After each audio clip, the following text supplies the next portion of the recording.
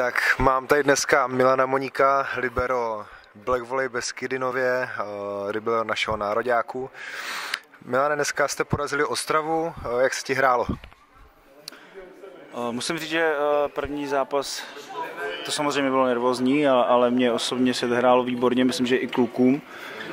Trošku jsem se bál našeho projevu po, po přípravě, protože pauza byla dlouhá a ty výkony a ten projev nebyl takový, ale jsem rád za to, že jsme společně udělali uh, to vítězství a hlavně ten projev mě bavil. Takže já jsem spokojený uh, se všema, co předvedli a jsem rád, že přišli diváci, to bylo úplně amazing. Super, díky moc. Uh, to je dobře, byl ten výkon, byl vidět, že jste si ho užívali. A pojďme k tomu novému tématu a to je změna postů. Ty jsi byl, bože spolu jsme hráli na, já na nahrávce, ty na smeči v nároďácích juniorských, potom, jak vlastně to dlouho, co byla ta tvoje, ten tvůj switch se smečaře na Libero? Uh, myslím, že to jsou, teďko to je čtvrtá sezóna, to jsem na Liberu, takže čtyři sezóny zpátky. A no jaký to bylo, no tak končil jsem v Benátkách, uh, pátým místem v Extralize a tak nějak jsem měl víc nabídek na Libero už než, eh, než na Smeč, takže tam ta volba byla asi jasná. A trošku samozřejmě jsem už nad tím přemýšlel delší dobu, protože to zdraví už nebylo úplně v pohodě. A když jsi jako přestal skákat, nebo, nebo co? A roz... řekli, hele, ty verče jenom přihrávej, nebo ne, samozřejmě to je vtip, ale co byl ten, co myslíš, že byla ta hlavní myšlenka toho, té změny? Já bych neřekl, že bych přestal skákat, ale bylo to tím, že vlastně dvě sezóny v Benátkách jsem měl hodně náročný, tím, že jsem musel k tomu pracovat, což byla pro mě jako hodně velká zkušenost. Měl jsem náročnou práci a, a skloubit to s tím, takže to, to spíš bylo náročný, s tím volejbalem to skloubit. A když přišla vlastně nabídka do Kladna, tak uh, jsem si říkal, proč ne. Uh, Kladno předvádělo v tu dobu nebo předvádí uh, super výkony a, a já jsem byl za tu nabídku rád a uh, neměl jsem proč říct ne. Bral jsem to vlastně jako novou zkušenost. Tak nějak jsem se psychicky na to připravoval, protože jsem takový trošku výbušný z toho postu smyčaře.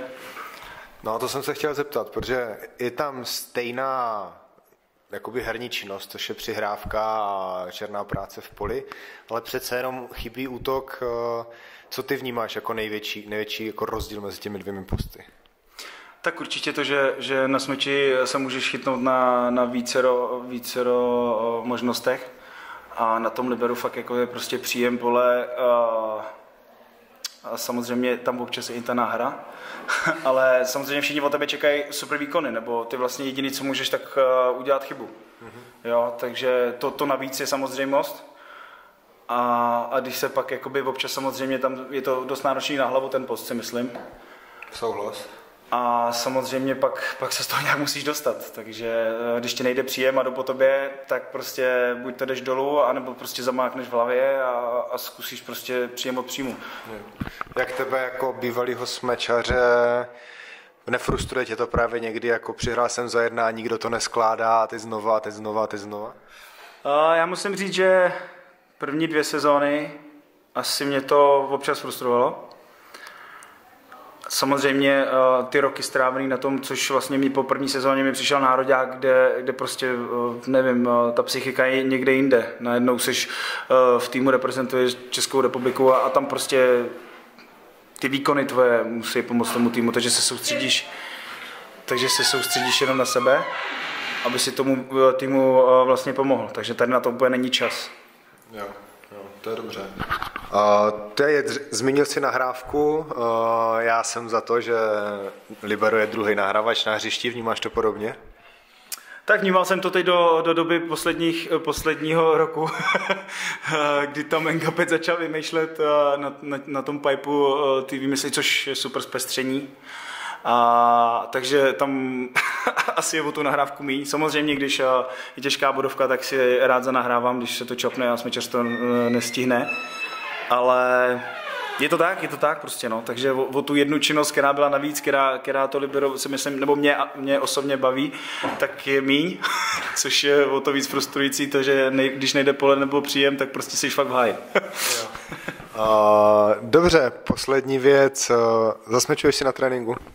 Jo, určitě, určitě. Když jsem byl nakladně, tak mi to Forbes i někdy donutil, že si mám jít zasmečovat, trošku pročistit hlavu.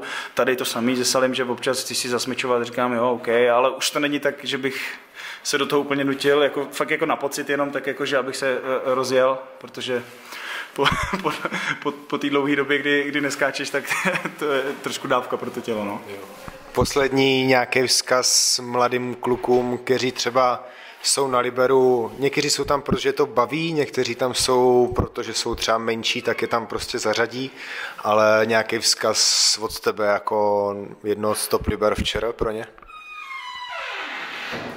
Tak upřímně ten post uh, tě musí bavit. Uh, musíš, musíš tam být od toho, aby si, aby si prostě tomu dal všechno a musíš z tebe být vidět to, že chceš hrát, že tam chceš nechat srdce, protože to jediný ty můžeš pro ten tým udělat. Takže uh, z hlediska téhle pozice určitě si užívat hru a, a nedělat si hlavu, uh, když prostě přijde krize a musí se, musí se bojovat dál. No. Super, Milane, díky moc. Taky děkuji.